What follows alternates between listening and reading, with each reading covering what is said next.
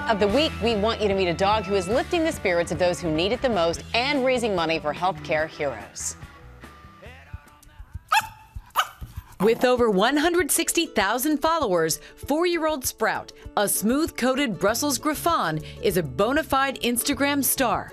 It was pretty gradual throughout the whole first year. I think he got about 5,000 new followers every month. At just five and a half pounds, Sprout is the epitome of perpetual poutiness.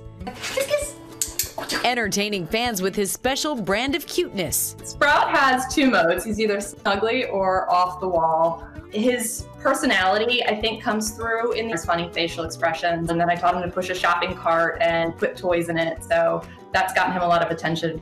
But now, during the pandemic, Sprout is recording custom cuteness for hospital staff, patients, and nursing home residents.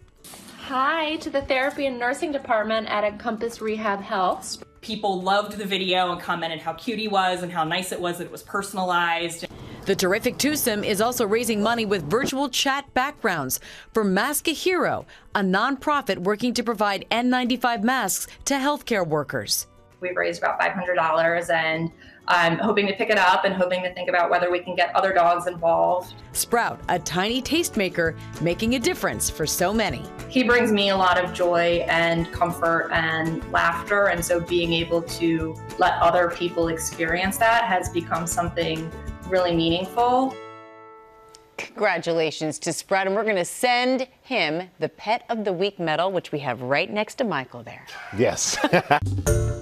There, GMA fans. Robin Roberts here. Thanks for checking out our YouTube channel. Lots of great stuff here. So go on, click the subscribe button right over, right over here to get more of awesome videos and content from GMA every day, anytime. We thank you for watching, and we'll see you in the morning on GMA.